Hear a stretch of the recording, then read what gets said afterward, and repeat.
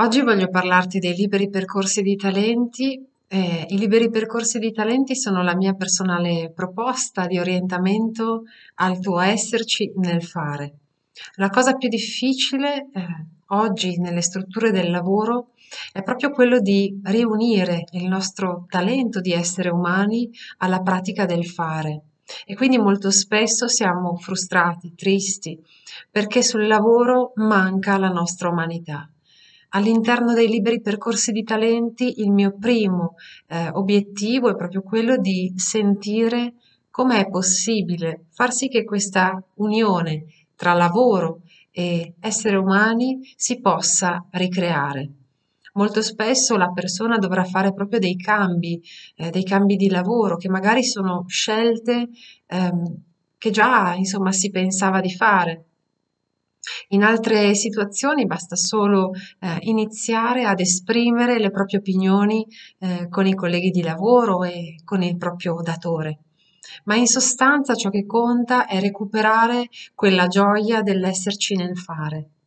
I liberi percorsi sono liberi eh, perché esattamente come tutto ciò che nasce eh, la nostra espressione ha bisogno di venire al mondo attraverso la gioia e attraverso la libertà di manifestare la propria natura, esattamente come un albero cresce e poi mette i propri frutti e i propri fiori, allo stesso modo la natura umana è fatta per germogliare, per nascere a se stessa. E quindi eh, la libertà è il valore più grande da tutelare all'interno eh, della, nostra, della, nostra, esistenza. La libertà eh, significa anche appartenenza attraverso il lavoro. Alcuni degli strumenti che uso nel, nei liberi percorsi di talenti sono ad esempio il genogramma familiare, l'eneagramma, e, e questi mi servono per intendere qual è la situazione della persona. Ogni volta tutti quelli che sono i miei strumenti eh, si adagiano sulla realtà che porta la persona e ad esempio con il genogramma familiare è possibile andare a comprendere eh, a seconda dei casi se il talento ha subito eh, degli ostacoli in qualche modo all'interno delle generazioni precedenti a quella del cliente. Quindi che cosa è successo al talento collettivo della famiglia nella generazione dei genitori, ma anche nella generazione dei nonni.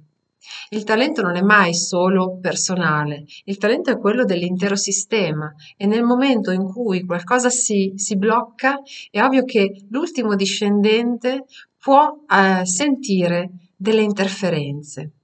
Di tutto questo ovviamente ti parlo anche all'interno del mio libro La misura del talento che ho appena pubblicato con Anima Edizioni. E quindi il mio suggerimento è quello di leggere anche questo libro per sentire eh, se tutto l'insieme della mia visione sul talento eh, è di tuo interesse. Un altro strumento, ti dicevo, eh, è quello del, dell'enneagramma.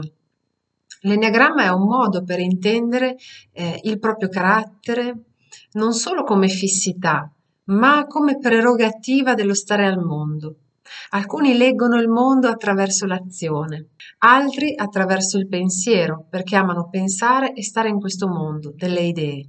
Altri ancora sono dei caratteri di sentimento. In tal senso capire la natura di questa pianta che, che siamo, la natura della nostra anima, è fondamentale per riuscire a sentire eh, come abitare il nostro talento. In sostanza, il mio eh, auspicio è quello di rendere le persone il più possibili aderenti alla propria espressione di vita. Ti auguro un buon viaggio nel percorso dell'espressione di te. Ciao, grazie.